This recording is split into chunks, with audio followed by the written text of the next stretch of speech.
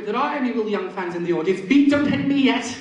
He's, he, this, the treat's in two parts, and now he gets nice. He, he, sees the error of his ways, and this is what I mean about it being a celebrity Marxist piece. It has to have Marxist tendency. So he has to. He has an idea. It won't work, but it's an idea. He sees. He's, he's seeing it. He knows everything's wrong. This is called the redemption of Will Young or Diamond Amnesty International thing.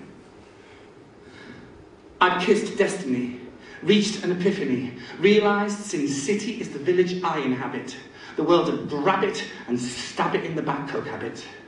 Finally accepted celebrity lacks any moral compass, any real social focus. Nightmares disguised as daydreams that a starting giant scream ups our profiles, but no more. Won't defile humanity any longer. No more of this sing-along socialism. It's got to be a real contribution, a solution worth more than mere millions, a solution unleashing the secret of untold billions, incalculable, invaluable, unchallengeable, a new world dynasty. Come on, celebrities, politicians, millionaires, royalty. Have a heart and take part in the world's first diamond amnesty. Let's lift this burden off our shoulders, this burden of back-breaking boulders, death and low wages. No more tantrums and rages because our hair isn't right, because the light isn't catching our cheekbones just so. Come on, J-Lo, give back those rocks that you got and put them back in the pockets of the poor. You can keep everything else, not asking for anything more. It's time to put our hearts and minds at ease, turn our backs on Tiffany's. After all, isn't that what epiphanies are for? Come on, Shirley. Sorry, Miss Bassey.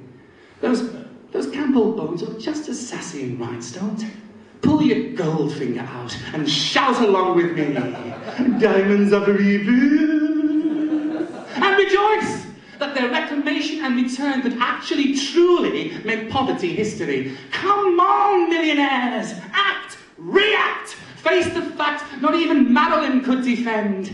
Diamonds are the third world's worst friend. I think it's the sun on the horizon. I think it's an unsinkable Poseidon. I think it's the side we should all be on. Gracefully acknowledge we were wrong.